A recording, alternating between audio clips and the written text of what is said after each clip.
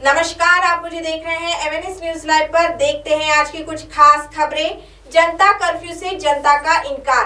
Corona संक्रमण पर काबू पाने के लिए सोशल डिस्टेंसिंग का पालन ज़रूरी है।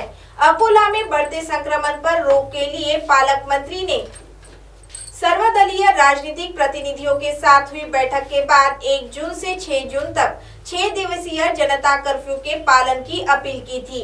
लेकिन कल पहले ही दिन लोग सड़कों पर निकल पड़े। कई प्रतिबंधित वस्तुओं की दुकानें भी खुल गई। सीधे तौर पर जनता ने सड़कों पर निकलकर जनता कर्फ्यू के पालन से इनकार कर दिया।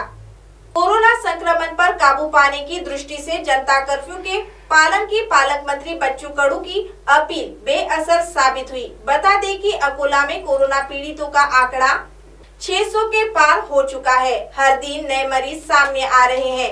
80 से अधिक क्षेत्रों को कंटेनमेंट जोन में बदला गया है। एक दिन में कभी 42 तो कभी बहत्तर तक नए मरीज़ सामने आ रहे हैं। इसी कड़ी में 28 मई को पालक मंत्री बच्चू कड़ू और सर्वदलीय राजनीतिक प्रतिनिधियों के बीच बैठक में यह तय किया गया था कि 1 से 6 जून तक जनता कर्फ्यू पर अमल किया जाएगा।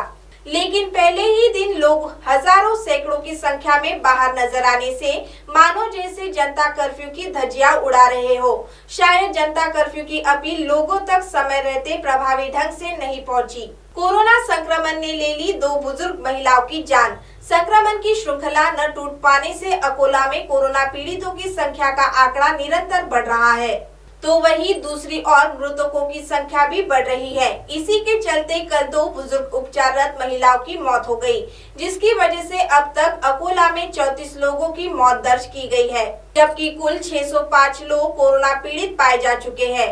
अब आप हमारे चैनल को ऐप पर भी देख सकते हैं। प्ले स्टोर में जाकर एम एन एस हिंदी लिखे और ऐप डाउनलोड करें। साथ ही साथ आप हमारे फेसबुक पेज को भी लाइक कर सकते हैं और उन पर भी खबरें देख सकते हैं। लिंक ट्विटर हाइक और इंस्टाग्राम पर भी आप हमारी खबरें देख सकते हैं। आप हमारे चैनल को यूट्यूब पर भी देख सकते हैं और इसे यूट्यूब पर सब्सक्राइब करना बिल्कुल भी ना भूले। फ़िलहाल वक्त चला एक ब्रेक का। ब्रेक से लौटने के बाद देश और दुनिया की तमाम बड़ी खबरें देखने के लिए बने रहे। एम न्यूज़ लाइव के साथ नमस्कार।